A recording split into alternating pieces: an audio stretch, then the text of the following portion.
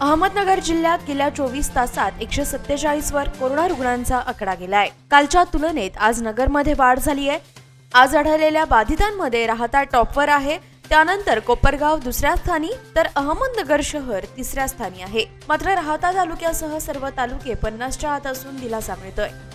अहमदनगर शहरात वीस राहत्यामध्ये त्रेचाळीस संगमनेरमध्ये बारा श्रीरामपूरमध्ये तीन नेवास्यामध्ये एक नगर तालुक्यात पाच पाथडी येथे आठ कोपरगावमध्ये एकतीस कर्जतमध्ये पाच पारनेरमध्ये तीन राहुरीमध्ये सहा भिंगार शहरात दोन शेवगावमध्ये तीन इतर जिल्ह्यातील चार. मिलिटरी हॉस्पिटलमध्ये एक असे एकूण एकशे सत्तेचाळीस रुग्ण आढळून आलेत.